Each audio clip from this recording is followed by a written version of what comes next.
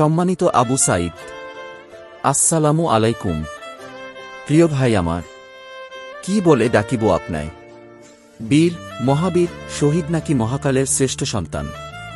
আজকের এই দিনে নুরুল দিনের সেই রংপুরে পুলিশের সামনে বুক চিতিয়ে দাঁড়িয়ে যেভাবে আত্মাহুতি দিলেন, এমন দৃশ্য ইতিহাসে পড়েছি।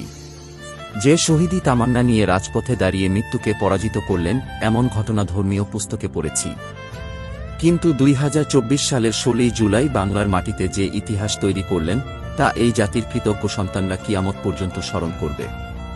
আপনি তো মহান আল্লাহর মেহমান হয়ে চলে গেলেন। আমার মতো কাপুরুষ রোজ কিয়ামতে আপনার সামনে কীভাবে দাঁড়াব? আল্লাহর দরবারে কি জবাব দেব? আপনার জন্য দোয়া করার সাহস আমার নেই। বরং আপনি আমাদের জন্য দোয়া করুন এবং আমাদের কাপুরুষতাকে ক্ষমা করুন।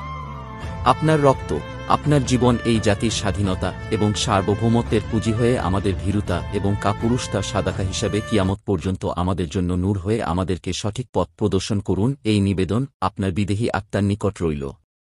আল্লাহ হাফেজ।